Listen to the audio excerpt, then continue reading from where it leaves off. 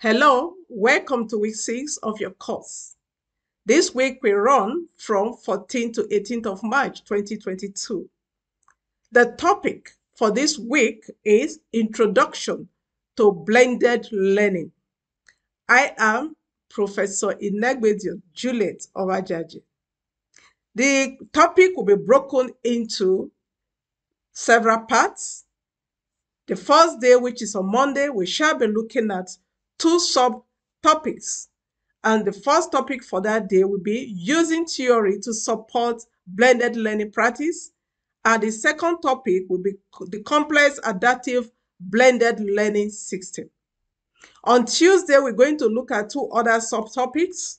First is the community of inquiry theoretical framework in blended learning. And the second will be creating a community of inquiry, what the research tells us. On Wednesday, which is the third day, we will equally be looking at two subheadings. And the first topic for that day will be seven blended learning structure in education. And the second part will be blended learning as technology enabled learning in the classroom. On Thursday will be for us to attend to the discussion forums and do our assignments. And on Friday, which is the last day, we're going to meet real time.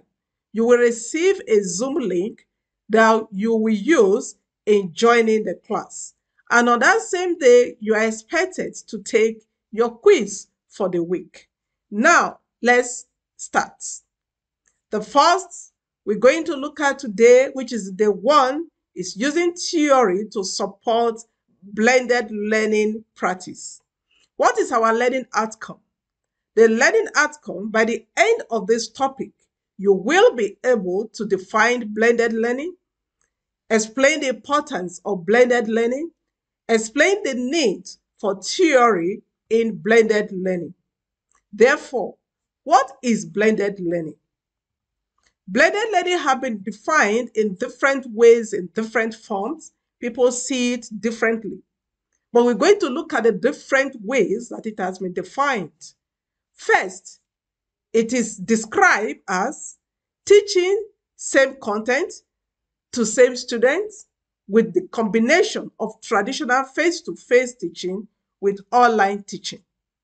Again, it is seen as where students in a program take some courses using the traditional face-to-face -face and others in the same program through fully online delivery.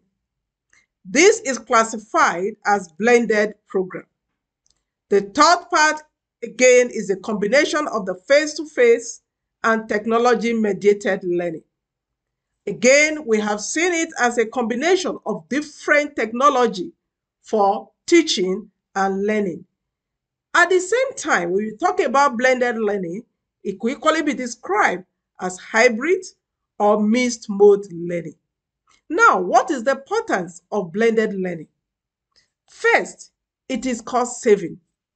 When you go blended, it helps to save cost. How does it save cost?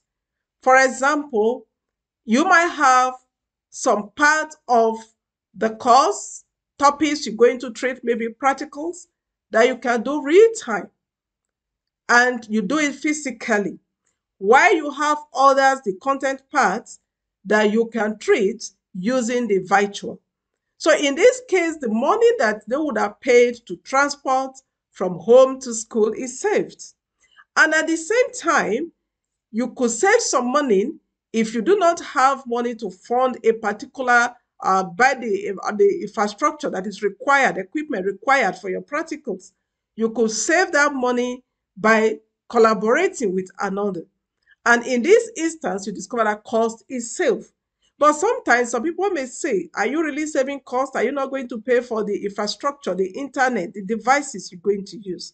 But if you look at the total cost you're going to spend on the internet, institutional cost, the private cost, on the long run, it is still cheaper to go blended. Again, encourages active participation, active engagement. When you blend, it helps the student to get more involved.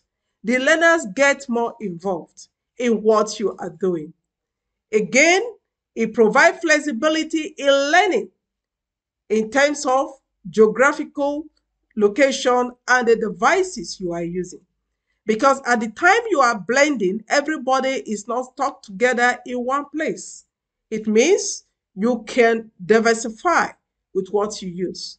Some persons might decide to join, like even in this particular course we are going through now, some people are using their phones, their handsets, while some are using the laptops, some are using desktop. So there is a variation for you. To, so we are not talking to using one altogether. Lastly, it enhances and give an enrichment of content through the institutional and academic collaboration. How do we mean? Academic collaboration, you might have some academics who are specialists in some areas, and this particular institution may not be able to hire them. What do you do? If you have the instructional video somewhere, you can use such instructional video to teach your own students. However, there are procedures in doing that. Some of them are free, OER. When it's OER, you are free to use it. But whereby it is not, then you can go into collaboration and have an agreement. Then you work it out how to use it. And that saves cost. And like I mentioned before now also, when it comes to the use of uh, labs, where you have some laboratory that you really need to spend in a lot of money, institutions can come together to have one state of the art lab that their students could be using, whereas every other thing could be taught virtually. Now, using theory to support blended learning. Why theory? Why are we talking about theory? Theory will help us understand our limitations. When you go through theories, you're able to understand the limitation. A good theory or model provide foundation on to, for the novice to build their own foundation because it gives you basics on where to build your foundation. Lastly, theory is very important because it helps us to understand others. When you look through theory, it gives you opportunity to understand what others are saying. Now, again, in this week, we're going to look at the theory and conceptual framework. Now we have seen the importance of theory, what it can help us to achieve. Again, there are times you bring in some concept, pull them together to come up with a framework to direct what you want to teach or learn. Now we're going to look at this week, we'll be focusing on the complex adaptive blended learning system and community of inquiry. These are the two that we're going to look at this week. When we're talking about the complexive adaptive, what are we talking about? When we are looking at the community of inquiry, what is the focus? So we're going to see that as we walk through. So here we'll have some references. We have a reference book here. Try to go through the reference book and it will help you. So in summary, for this particular section, we have looked at what blended learning is, why are we blending learning, and the role of theory in blended learning. So with this, I have some assignment for you. Here is the assignment you're going to work on.